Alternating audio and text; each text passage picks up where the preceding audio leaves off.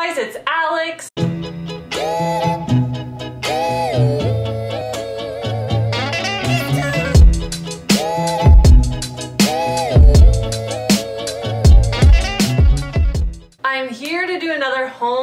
Organization video for you guys today. So as a lot of you know, I had watched the home edit over the Christmas break and I actually completely home edited my bathroom. I was also planning on doing my whole kitchen as well. Um, I am just saving up because honestly buying all the containers and things can get quite pricey. Um, but there's just one area in my life right now that needs some organization and I cannot wait to buy the special containers. I need to make do with what I have now and that is my fridge.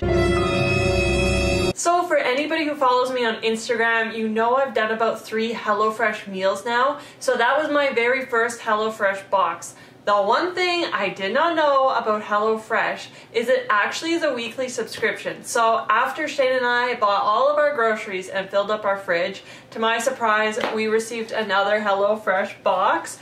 Um, so I have since gone on the app and kind of figured out how I can skip a box each week. I did not know this, and yes, I was charged for that extra box. So that is a little annoying to me. I do have to say, for anybody thinking about HelloFresh, be sure you check out on the website to make sure um, if you signed up for the weekly subscription or if you have automatically been rolled into the subscription process, make sure you're going on there every week and skipping your box if you don't want a HelloFresh box. So looking at everything in my fridge, you can see I've kind of jam-packed everything in here. Um, I also haven't cleaned it in a really long time, so I'm hoping when I take things out, I can actually get in the fridge and um, clean out a lot of the drawers and any of the shelves that maybe have some spills or or some unsightly items on there. So the first thing I'm going to do, just like the bathroom edit, was take everything out of the fridge, I'll do a bit of a clean, and then I'll put everything in and just kind of reorganize it.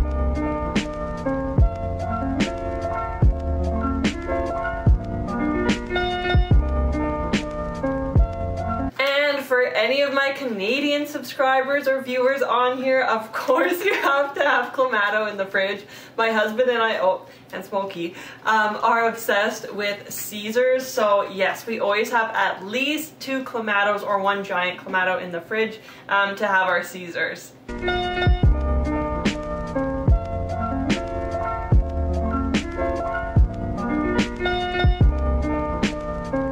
So I actually previously did have this one container from when Shane and I were living in our rental unit. Um, so that is one container that I don't have to go out and buy.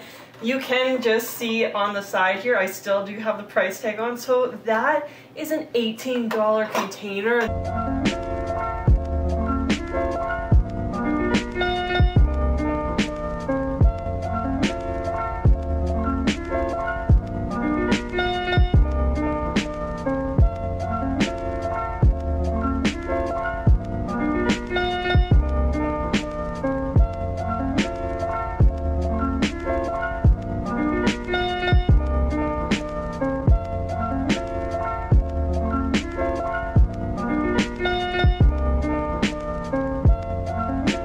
So I've totally cleared... Okay, so I've totally cleared out my fridge. I'm going to take my cleaning products now and actually just do a full clean of the fridge. The one thing I should mention that I left in there was my cans. This shelf stays very clean and it's specifically meant for cans, so nothing else is going there. So I am just going to leave my bubblies there and get to cleaning.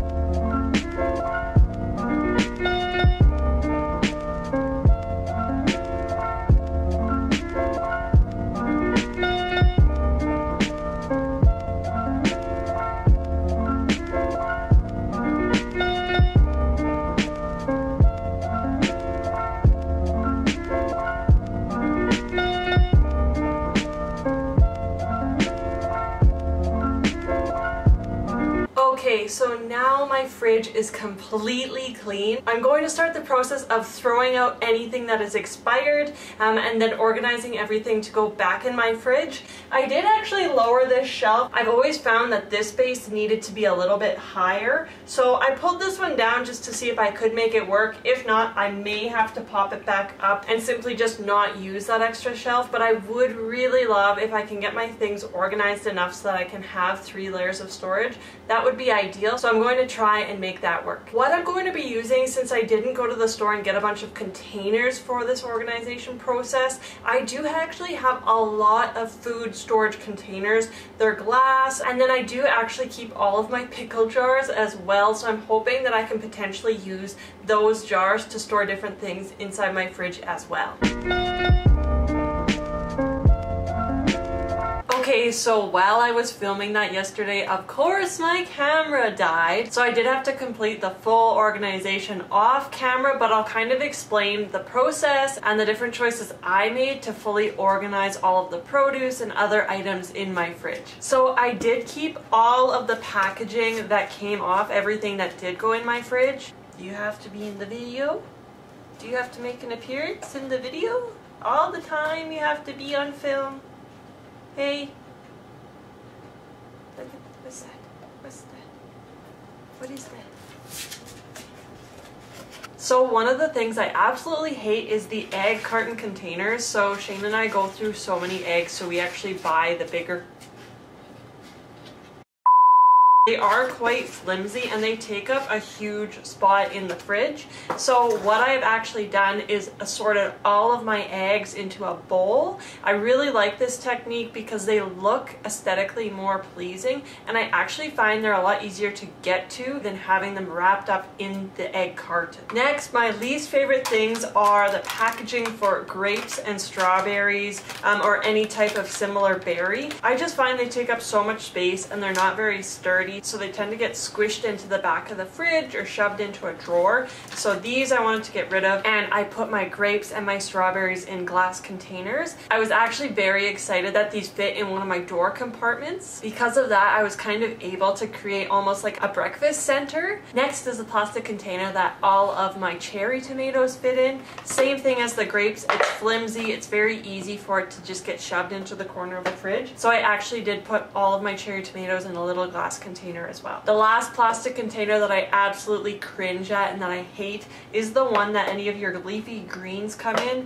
Same scenario, it's very easy to get shoved in the back of the fridge and because it's so flimsy, anything that you put on top tends to crush whatever veggies you do have in here and I just find they don't last as long. So the leafy greens and the broccolini I did put in glass containers and then I did snap the lids on them. This allowed me to more easily stack them on top of each other. Next are all of these very thin produce bags. Even when we're shopping, if I can, I actually try not to put anything in these when I'm at the store. I'd rather just throw the produce in my cart and wash it when I get home um, than have to deal with all of these.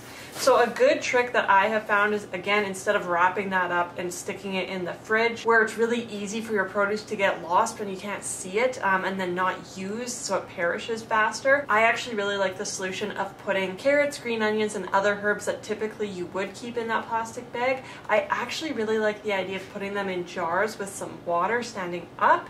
I think, again, aesthetically this is quite pleasing and I do think this helps them last a bit longer when they do have some water to sit in. And then lastly, we have all of the HelloFresh items. So as I mentioned before, I was not expecting this box and we did a huge grocery shop, which is kind of what prompted this whole fridge organization technique. Because I had to store all of this extra food, I needed a simpler way to see everything and make sure that everything would fit in my fridge. So I'm really happy that I did reconfigure the shelves. I now have this section here that is specifically for any of our HelloFresh items that we do receive. I do have this one fridge container here, which is great to house any of the meat products that we received in our box, and then it doesn't have to sit in my cheese drawer. Alright you guys, that concludes my fridge organization tour. I really hope that this video gives you guys some inspiration. Personally, I had seen images of other fridges that looked so nice, and I honestly didn't think that it would be something that I could achieve. So I was really excited that this came together as well as it did, and I didn't even need to go out and buy a lot of food storage containers. I simply used all the Pyrex dishes and things that I already had and frankly